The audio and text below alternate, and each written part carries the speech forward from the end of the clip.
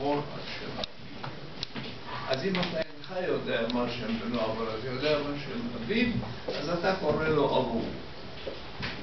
למשל, למה כשרצו לדבר בהצבעה על סטלין, קראו לו אבו יעקב? מפני ששמו של סטלין היה יוסף. ויוסף חזקה עליו שיקרא את שם בנו הבכור על שם יעקב אביו. ולכן הוא אבו יעקב. מה עושים עם יהודי שאביו היה לודוויג? אבו לוטפי. מתרגמים היה צריך ללמד אותם לדבר ערבית בהיגוי נכון, לפחות לא לעשות את השגיאות החמורות והקשות.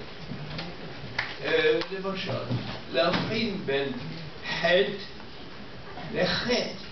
עד היום אני לא יודע. אם היית מספר את זה, אז היו מורידים לי למסור. היו למשל, אתה שואל אדם, כיף חלק? כיף חלק זה מה זה מה שלומדותך, אחי אמך. אז כשפעם שאלו מישהו, אמרו, אה, כיף חלק, נבוא לך לימד. במיוחד האוכלוסין באלה